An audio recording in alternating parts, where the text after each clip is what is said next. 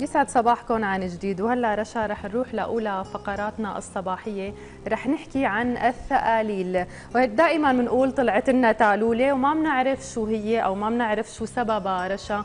وممكن في ناس بتطلع ما بتعرف شو هي أسبابها أو في مين هن الأشخاص اللي معرضين لها؟ صحيح. هي أكيد من الحالات الجلديه وبتصيب ناس كثير اليوم هذا المرض يمكن ما بيعرف عمر يعني. آه، ولكن آه، يمكن إذا رجعنا بذكرياتنا من الصغر بنلاقي إنه الأطفال كثير شو دكتوره معي انت؟ خصوصا بالإيدين. الأطفال أكثر شيء بالإيدين. آه، وكنا هيك يعني الطفل الشقي شوي يقعد هيك يحركش فيها ياخذها يجيبها كذا طبعا هي الحالة هي حالة ما بدنا نقول إنه مرضية مستعصية لأنها هي بتروح بالعلاج. في حالات راحت لحالها يعني. لذلك رح نحكي أكثر عن هاي الحالة أسبابها وكيف اليوم الطب بيعالجها بالحالات المستعصية. وضيفتنا لليوم هي الدكتورة فاتن محمود أخصائية جلد وجه راحة تجميلية. سعد صباحك. صباح الخير. كيفك؟ أهلا. تمام. ماشي الحال. يسعد صباحك واهلا وسهلا فيك حبيبتي. آه، طبعا كثير أشخاص بتطلع لهم هي الثقاليل التالولة المتعارف عليها بعاميه أو ما ما في حدا يمكن ما بيعرف شخص طالع. له مثل ما حكيت رشا إنه نحن صغار أو الأولاد الصغار دائما بس شو تعريفها هي الأساسي؟ خلينا نحكي عنه بالبداية. هلا أول شيء التالول هو عبارة عن عدوى فيروسية. بتصيب طبعا الجلد وبتصيب بتصيب الأغشية المخاطية. طبعا بتصيب الصغار وبتصيب الكبار. الأكثر شيء عندنا الصغار بأشياء معينة مثل مثلا السائل الخطية بتجي أكثر شيء عند الطفل. وبتصيب كمان البالغين بتصيب مثلا الناس اللي بيكونوا عم يشتغلوا باللحومات بالأسماك كمان كل واحد لها لها توضعات معينة والها أشكال معينة يعني. أه بالنسبة للسقاليل لها يعني مثل ما بيقولوا الرطوبة والحرارة كثير بتكون أكثر إنه تخليها تصير في عندنا شغله الإنتان الفيروسي عندنا بالنسبة لطرق العدوى أكثر شيء ممكن يكون عن طريق التلامس بين شخص وشخص. مثلا بمنشفته بأدواته مثلا عن طريق فرضا بيجي على الأظافر عند الأصابع ممكن مثلا يكون عن طريق قصاصة الأظافر. بتقول مثلا لا بيعدي. مثلا عن يعني قلنا إنه مثلا الأحذية سئلوا الأخمصي ممكن يكون في عندك عن طريق الحذاء. يعني في عندنا إحنا أنواع للسقاليل أنواع عندك عندك الخطية عندك سئلول الأخمصي عندك أهم آه، سقاليل اللي إحنا كثير شوي من نتكركب فيها. لا مو شيوعا ولكن أكثر شيء نحن شوي بنتكركب بموضوع السعي التناسلية عند الطرفين عند النساء والرجال. هون بقى بنبدأ نبلش بقى بالقصة إنه كيف صار السؤلول لأنه بتكون عدوى جنسية. طبعا 90% منها. أو ممكن ممكن تلامس أي. وهون بقى بنبدأ نسأل المريضة إنه على القصة المرضية تبعتها إنه كيف إجتك هي الحالة عن طريق الجنس؟ تلامس الجنس فبتقول لي إنه لا. فبنسأل الطرف الثاني إن كان له علاقات مثلا أكثر من من أنثى. وهيدا ممكن يصير في عندنا سعي تناسلي وهون بقى العلاج إذا كانت مشكلة حامل يعني إذا كانت حامل هون بقى مشكلة العلاج. لما بنقدر نحن آه، نعالج بالطرق الاعتيادية يلي نحن آه، نحن دخلنا بشكل موسع. بس معلش طيب خلينا نفصل شوي شوي كرمال. نستفيد من وجودك اليوم آه، دكتورة. يعني وقت اللي عم تقولي لي كذا نوع كل نوع أكيد له أسباب اللي ظهوره على الجلد. يعني خلينا بداية ركزتي على موضوع الأصابع العدوى على أصابع الإيدين وأصابع الرجلين وان وجود تجي من فيروس أو تلامس هو كلياته سببه فيروس تماما. وكله العبارة هو طبعا اذا بدنا ندخل كثير هو بحث شو انواعه شو انماطه شو كذا بس إنه هو بسبب عدوى فيروسية. بس بالنسبة للأصابع خاصة عند الأولاد الصغار مثلا يجي عندك الخطي اللي بتلاقي في طفل عنده آه، مثلا سائل على وجهه كيف علاجه مثلا؟ بيكون بالمقشرات أو ازوت آه، سائل. بيكون عن طريق طبعا آه، بخ ازوت سائل. هل بتكون الشكل بكل حالة هو طبعا بيختلف يعني بيختلف بيختلف, بيختلف طبعا. شو الفروقات بيناتهم؟ الفرق بقول لك إنه هي شكلها بتكون مثلا خطية بتكون كيف شكلها مدورة على الوجه مثلا بتكون بتكون أحيانا بتكون عند الأنف أحيانا عند التم. أنا بيكون مثلا بيلعب فيها الطفل ما عنده قدرة. مثلا الطفل الرضيع بيجينا أحيانا بيكون مثلا على فقد من افقاده بيفكروا ممكن نحن بدنا فحص. فكر بينه مثلا وبين المليساء كمان موضوع ثاني بدنا نشوف شو شو المو شو اللي موجود يعني شو الموجودات. فبيكون مثلا أم عندها سقاليل عم تحفظ ابنها بشكل دائم صار عنده عادته. مثلا طفل عنده على اصابيعه فما بكثير بياخذ بيعطي مثل ما كنت عم تحكي إنه ممكن يكون فيها يلعب فيها إنه هي على الرض بتعمل فيها الرضية الرضية هي يعني من الرضه بتصير في عندنا عدوى.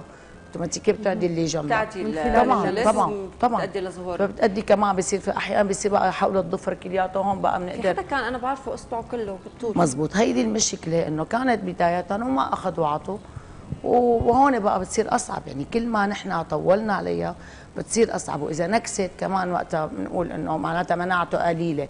فبنعطي أحيانا أدوية للمناعة يعني مثل فيتامينات للأطفال أو هي وبنعالجها وأهم شيء إنه نحن ما نعالج بالتخ... بالتخسير الكهربائي. يعني في عالم نحن بدنا شو يعني نعطي تخسير كهربائي؟ دكتور؟ هو بيكون إحنا بسموه يعني هو تخسير كهربائي بيكون عن طريق ال- الحرارة. يعني مثل إنه كيف إحنا يعني كيف. الأزوت السائل بالتبريد كي بارد وكي حراري. آه. فنحن ممكن نحن نخدر. نحن ما كثير بنفضل تخدير الأصابع مشان الأدرينالين وغير الأدرينالين مشان ما يأثر عنا على الأصابع. فنحن بنحب كثير نوجه إما يكون بادويه معينة بتنحط بتجي مثل اللزقات أو مادة بنحطها وبنفهم المريض كيف ممكن نشتغل عليها أو ممكن نشتغل على الازوت السائل اللي هو الكي البارد.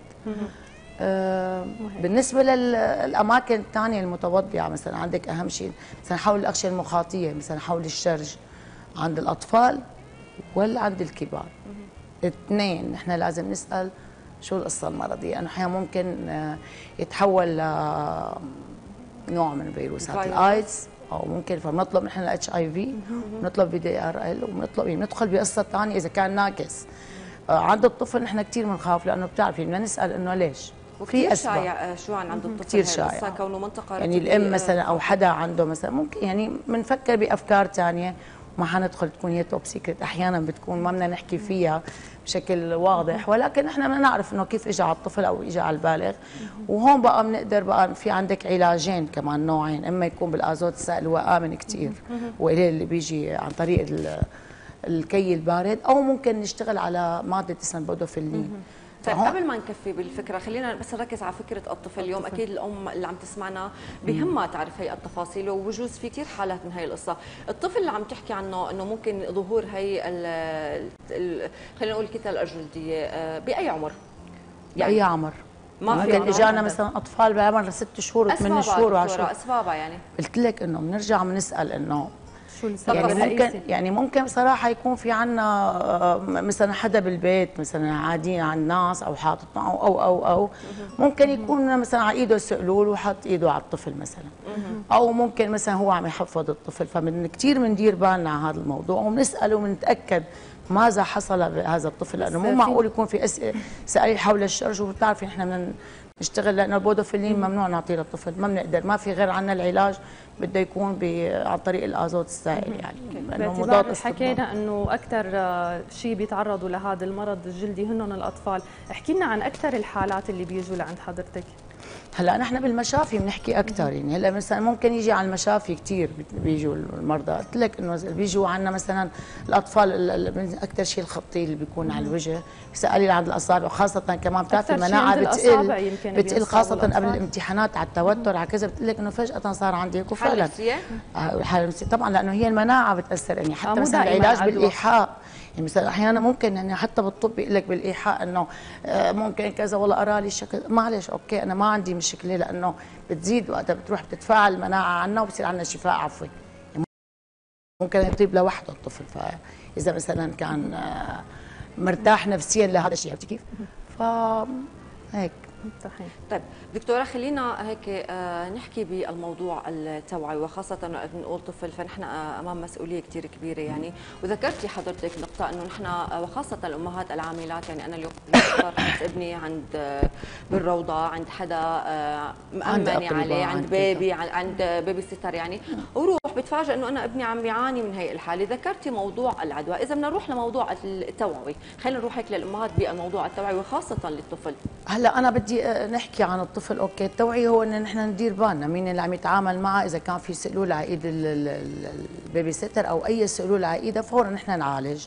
ودائما نعمل مثل كشف على الطفل ندير بالنا عليه نشوفه يعني مو إني نهمل نشوف في أي شيء مثلا طالع على الفرج عند الطفل البنت أو على الشرج عند الأطفال الصغار. نعرف مثلا ثآليل على على أحيانا بيجينا على الفخذين أو على جهة واحدة من الفخذ كمان بنسال لكن أنا كنت بدي كثير نوع على موضوع الثآليل التناسلية عند الحامل أو عند الأنثى. عند الأنثى نحن ما بيكون في عنا ثآليل تناسلية. نحن بنطلب مباشرة استشارة نسائيه لأنه ممكن يكون في عندك بعنق الرحم. ولما بصير في عندنا بعنق الرحم ممكن تتحول ل SCC يعني لورم. ممكن يصير في عندنا خباثة. فبتلاقي إنه آه، بيطلبوا أي بنعالج okay عالجنا. وبعدين؟ فنحن بنطلب لا استشارة نسائيه بنعمل إيكو آه، مهبلي. مع الاستشارة النسائية وبتعطينا قرار. إذا كان في عندنا بننتقل هيدي للرحم فوقتها بدنا نعمل بشكل دوري وبنعالج طبعا وممكن يكون مع تحت التخدير العام إذا كان عندنا وحصلت أكثر من مرة إنه ممكن يكون فعلا منتشر وهو مشكلته إنه انتشاره سريع. ولكن أهم شيء إنه نحن نشوف الطرفين. يعني ممكن أنا عم عالج الامراه اللي عند الحاملة المرض ولكن الشخص اللي هو عم يسبب مثلا زوجها. بتقولي إنه مثلا ما عنده أو كذا أو ما بده يجي. فلا لا لو سمحتي معلش بدنا نخبر لأنه أهم شيء معلش تخبري المريض إنه شو هو مدى الخوف من. خطورته وإنه ممكن إنه يا أخي ممكن ينتقل. لأنه حامل مرض مثلا إذا نكس مرة اثنين ثلاثة ممكن يكون عندك يا أخي سفلس ممكن يكون في عندك آيز. ممكن أنت رايح مع ناس فتره الحضانة كانت معينة وأنت نكست مرة أولى ومرة ثانية طبعا بنعمل تحاليل ولكن هدول الاثنين بنعملهم طبعا تحاليل بمركز للآيز بيكون للدولة مشان يكون 100% نحن عندنا موثق. نعم. طب دكتورة هلا على الجلد على الإيدين بالوجه ممكن إنها تكون ظاهرة. حضرتك ذكرتي إنه الحامل بتتصاب بالأعضاء التناسلية. بالزبط. كيف ممكن تميز شو هي أعراضها أو كيف ممكن يظهر معها إنه هي تعلول آه، بتجي المريضة هلا المريضة لما بتجي بتقول لك إنه طلعت عندي حبة أكثر من مرة بتجي بتطلع إنه زادت. مثلا عم تقيم مثلا بالشفرة أو كذا بتكون إنه زادت. فبنطلع بنشوف إنه لا نحن عندنا ساي تناسل بنبلش بقى نحن وقتها بنسأل المريض أو بنطلب التحاليل. طبعا اكاديميا أنا عم بحكي. نطلب التحاليل مشان ننفي آه، انتقالات معينة. واثنين بنبلش بالعلاج. العلاجات نحن متنوعة عنا إذا ما كانت حامل. ما إذا كانت حامل في طريقة ثانية وهلأ عم يجينا كثير بنات ما متزوجات فللأسف عن طريق الليزر عم ينتقل صار. يعني الليزر مثلا مريضة عندها هي إذا كانت الموجودة اللي عم تشتغل على التكنيشن الفنية اللي عم تشتغل ما أنا ممرضة أو ما عندها فكرة يعني إذا ما أنا ممرضة ما رح يكون عندها فكرة إنه في شيء غير طبيعي موجود. فبتروح مثلا بتكون اشتغلت للمريضة الثانية الثالثة بتجي البنت إنه يا أخي أنا ماني متزوجة وأنا ما عندي أي علاقات أنا ما عندي أي مشكلة. فجأة صار عندي هذا الموضوع بنسأل إنه أنت إيه أنت اشتغلتي ليزر؟ إيه والله من أربع خمس أشهر عم بعمل مثلا أنا جلسات ليزر. فيجب إنه يكون يعني كثير الانتباه لأنه المفروض أول ما تدخل المريضة تعمل ليزر أول شيء يكون الطبيب الجلديه بده يشوفها طيب. بيعطي قرار إنه إيه أوكي منيح ما عندها فطور ما عندها سقاليل ما عندها مليسات ما عندها أي مشكلة جلدية لأنه بتنتقل يعني هي. هاي اليوم مسؤولية كل المراكز إن كان تجميليا وكل الأطباء. وكل الأطباء يعني علينا إنه نحن خدمة المواطن يعني وخدمة أي شخص. طيب آه، دكتورة فاتن خلينا نحكي بالعلاج. ما بين الحالات خلينا نقول العرضية اللي ممكن تروح آه، منهم بيروحوا لحالهم إيه عم أقول لك عفوا بتروح بالإيحاء. وفي آه، من آه، آه، بالكي قلتي بنسمع بعض الحالات بيروحوا للطب العربي خلينا نقول للطب الشعبي التقليدي. ما بين الطب الشعبي وبين عياده الدكتور شو هي العلاجات المهمة؟ هلا في ممكن أحيانا الطب الشعبي ممكن قلت لك أحيانا بيربطوها. مثلا قلت لك والله هيدي تعالوا لي مثلا إنه يلا أنا مثلا معلقه بتكون. بيقول لك إنه هي بتكون إنه لها رأس وهيك بيعنقها بتموت. برجع بقول لك إنه الإيحاء بيلعب دور. يعني انت الحالة النفسية؟ أنا ما حتى بالكتب طيب بتقول لك كيف يعني قادره أميز أنا نوع هاي قالوا لي كرمال أقدر اربطها يعني انت حضرتك عم تقولي في كذا يعني لا لا ما بيروح أنا لما بيروح عند شخص يعني لما بده يكون هذا الشخص إما رجل دين أو, أو موثوق طب يعني. عربي أو أو أنا ماني ضدهم يعني بالعكس يعني ممكن فعلا قلت لك بالإيحاء بيصير عندك زيادة المناعة وبتصوري بيشفي عفويا ولكن أحيانا بتكون لا ناكسة وبتمد ومناعه الطفل مثلا بيكون قليلة أو مثلا حدا عامل عنده مثلا لوكيميا أو عنده مثلا زراعة أعضاء هذا بيكون مناعته مثبط يعني. فهذا من أكيد بده يكون بقى نحن نعالجه بطريقة بس انت مع إنه يروح بموضوع الايحاء ولكن مع ما انك مع اليوم دكتورة بموضوع الاستشارة الطبية قبل يعني نقدر نحدد النوع كرمال نحن بنختار الخطوه أو لا يعني إيه هلا بيكون راح هلا أوتوماتيكي أوتوماتيكي بيكون راح لحاله وبعدين رجع لعنا. أنا ماني ضد. أنا ماني ضد. لأنه حتى بالكتب موجودة يعني الايحاءات كثير بتعطي يعني مناعة المناعة بتصير قوية. طاقة. نحكي اليوم إيه. بالطاقه لكن السائل بصراحة التناسلية كثير بتكون عم تعطي في صعوبة بعلاجها. وقلت لك إنه نحن وقتها بدنا نعمل استشارات يعني ما في ما فيني إلا إنه إيه إنه يلا بشتغل لك إنه كثير بيجينا مرضى إنه إيه اشتغلت ونكست. طيب يا أختي آه بدنا نشوف نحن استشارة نسائية؟ يعني أنا بقدر أعمل مثلا نظرة سريرية خارجية. لكن بدي أنا أشوف مثلا عقل رحم بدي أشوف أنا مثلا إذا في انتقالات. هون بقى بتصير لأنه يعني ممكن أنا أعالج مخارج رجعنا إنه في عنا اتصال جنسي. اليوم عم تركزي على الموضوع أنا عم ركز لأنه عم ركز لأنه الحوامل عم تجينا الامرأة الحامل بتجي بتقول إني أنا ما كان عندي شيء. فجأة طلع لها بالشهر الأول الثاني صار عندها. بعد يعني بتكون عروس. أكيد. طب دكتورة حكيتي إنه المرأة الحامل لها طريقة علاج معينة أو خاصة. خلينا نحكي عن مراحل قلت لك إنه ما في علاج لها ابدا مثلا بودوفيلين ما فينا نشتغل إذا أزوت سائل. وخاصة نحن بنعطي تنبيه إنه ممنوع الولادة إلا قيصرية. ليه؟ لأنه بصير انتقال للطفل. للطفل. لك؟ فبنعطي تنبيه مباشر حتى بت بنعطي تقرير. أو كمان طبعا أكيد دكتورة النسائية بيكون عندها فكرة بس أحيانا مثلا بتقول لك أنا ما عم أفحص الدكتورة النسائية بتفحص إيكو بطن كذا. ما لأنه ما بقى بتلق ابدا مثلا المنطقة التناسلية. إلا إذا كانت المريضة قالت لا إنه دكتورة أنا عندي كذا فممكن هي تعالج وممكن لا لا روحي عند طبيب جلدية. طبعا نحن قلت لك إنه العلاج أكثر شيء بالآزوت بس بنعطيها تنبيه وبنعطي تقرير مباشر إنه ممنوع إلا القيصرية. طيب آه، دكتورة آه، كرمال نتوسع أكثر بالحديث. حضرتك سردتي اسم الله عليك تفاصيل كثير مهمة. عم نرجع نأكد عليها ببعض الأسئلة. وقت بنقول آه، حالة مرضية يعني اليوم بجوز في مضاعفات. أنا اليوم عم يصيب جسمي بعض الإرهاق بعض التعب. يكون هن لهم أعراض على الجسم. كونه عم نحكي موضوع المناعة اليوم وقت المناعة بدها تكون منخفضة بجسمنا هذا الشيء بده يأثر على نشاط الجسم. هل عم يكون لها أعراض جانبية على الجسم؟ أه لا هلأ الإرهاق أكيد لا ما له علاقة. لكن له علاقة مثل ما قلت لك أحيانا تثبيت المناعي بيكون عن طريق الأعضاء. مريض عنده مثلا عنده مشكلة مثلا بأمراض دم أو عنده مشكلة بالكبد أو أو أو. أو إذا كان مهيأ إنه هو في تلامس دائم مع أشخاص عندهم هيك قصه فأخذ العدوى عرفتي كيف؟ أما إذا إرهاق أما نعم. ظاهريا يوم إنه ممكن ظاهريا لا لا لا لا ظاهريا ابدا ابدا. بيجيك إنه عندك عنده سؤدول بس مثلا بيكونوا عم يشتغلوا مع اللحامين وكذا فبتلاقي عندهم سألي فبنسألهم أنتم عم تشتغلوا مثلا باللحمة عم تشتغلوا مع الأسماك إيه. يعني بنصير نسأل إحنا أهم شيء القصة المرضية. يعني هي أنا كثير بتوجهني عند المريض أو الطفل يعني. خاصة مثلا أطفال بينشفوا مع بعض. بيكونوا عم يتلامسوا طفل لطفل بيتلامس عادي ما عنده مشكلة. فهيدا كمان انتقاله بيكون أسرع.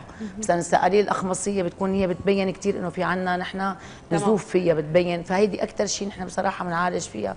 آه هو بالتخسير الكهربائي بيكون بيعطي كثير نتيجة. طيب دكتورة فاطمة محمود علي آه رح نكفي حديثنا نحن وإنت ولكن خلينا نروح هيك لفاصل. لموجز آه لغرفة الأخبار لنكون بأهم الأخبار.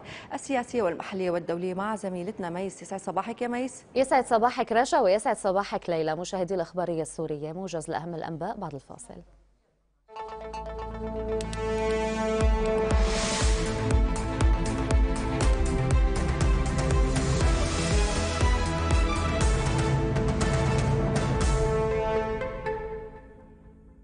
أهلا بكم. استشهد ثلاثة فلسطينيين وأصيب أكثر من 29 آخرين بالرصاص بينهم خمسة بحالة حرجة. خلال اقتحام قوات الاحتلال الإسرائيلي مدينة جنين ومخيمها صباح اليوم. وأوضحت وزارة الصحة أن مستشفى جنين الحكومي استقبل عدة إصابات أحدها حرجة لفتاة أصيبت برصاصة في الرأس ونقلت إصابة حرجة إلى قسم جراحة الأعصاب في مستشفى الرازي فيما نقلت أربعة 14 إصابة إلى مستشفى ابن سينا التخصصي بينها ثلاثة إصابات خطرة في الصدر والرقبة.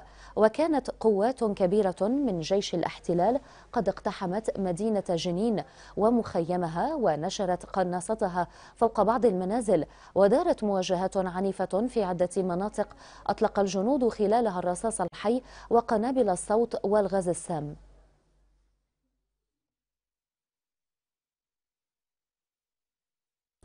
في هذه الأثناء أصيب ستة جنود إسرائيليين بينهم إصابة خطرة برصاص المقاومين الفلسطينيين خلال الاشتباكات التي اندلعت بسبب اقتحام الاحتلال مخيم جنين. وقال موقع وها العبري أن خمسة جنود إسرائيليين على الأقل أصيبوا بعد وقوعهم في كمين أثناء الاشتباكات الجارية في مدينة جنين.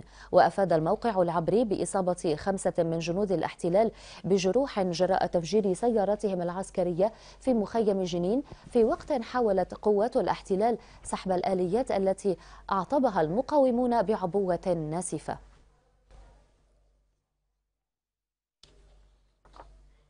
يستعد حلف شمال الأطلسي لإجراء مناورة جوية فوق الجناح الشرقي للحلف المحاذي لروسيا بينما احتدمت المعارك على مختلف الجبهات في شرق أوكرانيا وجنوبها. وذكرت وكالة الأنباء الألمانية أن مناورة جوية كبرى ستنطلق هذا الأسبوع تشمل مشاركة مقاتلات تحلق فوق الجناح الشرقي للحلف وطبقا لخطط المناورة فقد طلب شركاء الحلف الشرقيون إرسال مثل هذه الإشارة بالتأمين والتكاتف العسكري.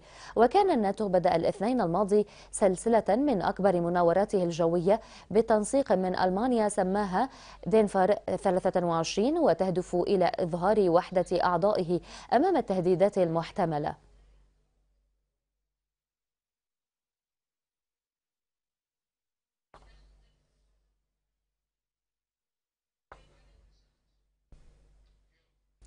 التقى وزير الخارجية الأمريكي أنطونيو بلينكين صباح اليوم في بكين مدير مكتب الشؤون الخارجية في الحزب الشيوعي الصيني والدبلوماسيين الصينيين وانغ ياي وذلك في اليوم الثاني والأخير من زيارته الهادفة إلى تحسين العلاقات المتوترة بين الولايات المتحدة والصين. بلينكين هو أرفع مسؤول أمريكي يزور بكين منذ نحو خمس سنوات. أجرى محادثات مع نظيره الصيني لمدة سبعة ساعات ونصف. وقالت الخارجية الأمريكية أن بلينكين أجرى في بكين محادثات صريحة وموضوعية وبناءة مع نظيره الصيني تشين غانغ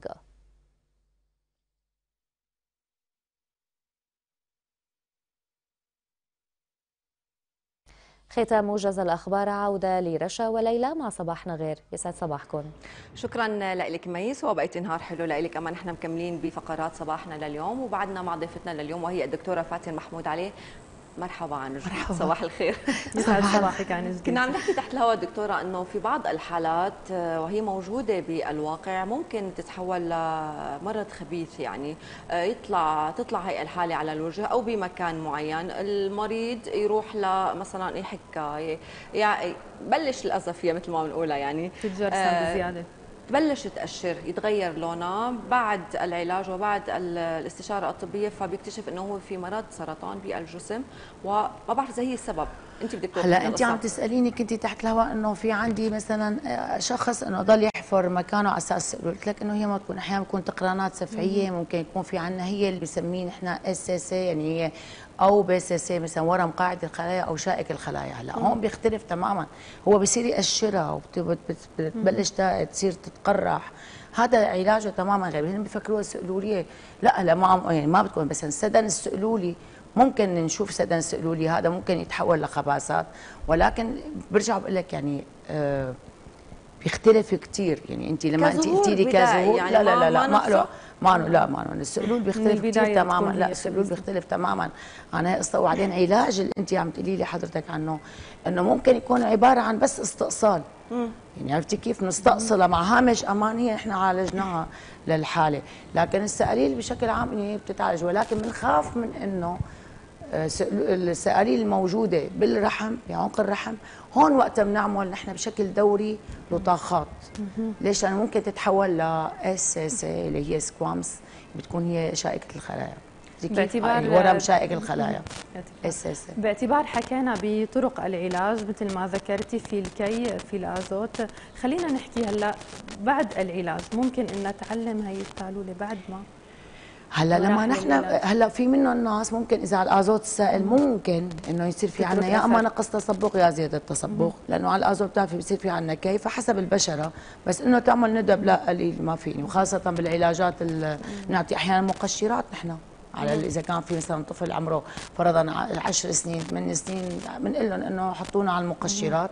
وعادي طبعا مع واقعات شمسية مع حذر كثير يكون كثير آه، مثلا عند تعرض للشمس أو لأنه ممكن يزيده.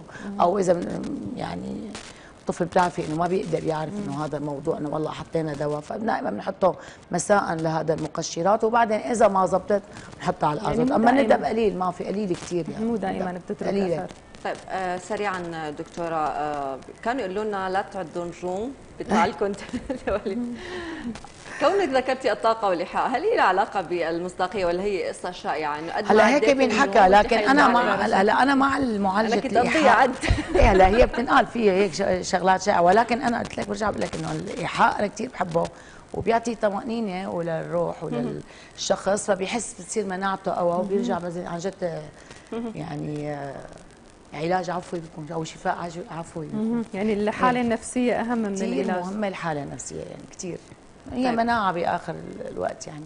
تمام. دكتوره هيك بنصائح أخيرة من حضرتك. لكل حدا مرافقنا لليوم. النصائح. ودائما بنقول نحن التوعية هي إيه. المهمة بجميع الحالات المرضية. صحيح. هلا صراحة مثلا قصاص الاظافر طفل عنده أو حدا من البيت عنده سقليل ينتبه. مثلا حدا عنده سقلول بالبيت الأم تروح فورا تعالجها. مثلا ابنها طلع له تعالوا فورا فوراً لما ما شفتك. لحالك. هي مثلا صندل حدا عنده مثلا سقلول بالأخمص أو بالأصابع تروح تعالجها وتقول له مباشرة ماما ما حدا يلبس مثلا صندل اخوكم أو شيء حتى بينتقل بصراحة عن طريق الأحذية عن طريق ال- الشغلات الشخصية المناشف إلى آخره.